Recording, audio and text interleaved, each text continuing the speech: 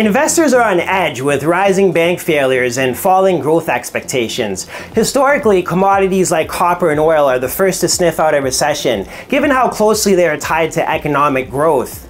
Lately, however, copper and oil are telling two different stories about the health of the global economy. While oil hit a new post-COVID low last week, copper is up 8% year to date and 27% in the last nine months. So what explains the disconnect? We think supply holds the answer. Oil inventories are historically low, but increasing. The IEA reported that supply outpaced demand by 1 million barrels per day, or 1% of global demand last quarter. Inventories continue to increase in the US in 2023 and are close to the top of the five year range as of March. Turning to copper, the inventory situation couldn't be more different. Goldman Sachs just came out with a forecast saying the world could run out of visible copper inventories by September. And the shortages won't be improving anytime soon. Only 250,000 tons of new projects have been greenlit in 2022 compared to 750,000 tons or higher over the past two decades according to S&P.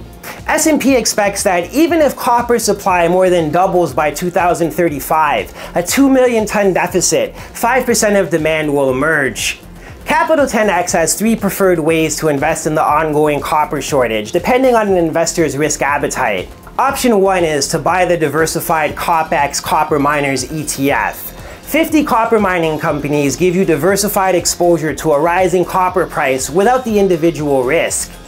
Next on the spectrum is to own high quality, large cap miners like Southern Copper. Southern has outperformed peers year to date due to high copper exposure and low mining costs, giving investors a balance between reward and risk.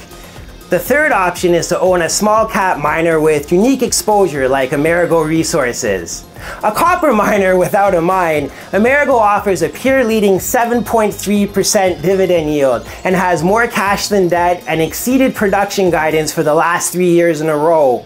Amerigo offers small cap return potential while limiting the usual risks that come from owning smaller operators. For more on all things copper and oil, visit Capital 10X.